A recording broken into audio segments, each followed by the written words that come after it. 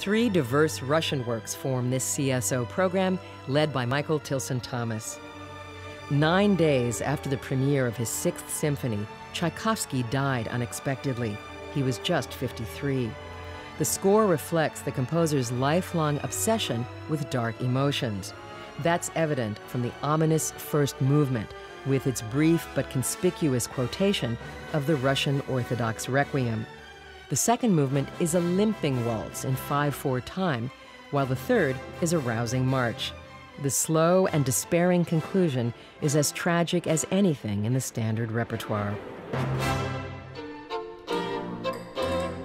Prokofiev composed his second violin concerto during a self described nomadic phase as he traveled between Voronezh, Russia, Baku, Azerbaijan, Paris, and Madrid. Dedicated to the French violinist Robert Soetens, the concerto has a certain international flavor. It starts off with a violin melody based on a Russian folk tune. The second movement is nostalgic and song like, while the third has a Spanish tinge Nicola Benedetti is the soloist.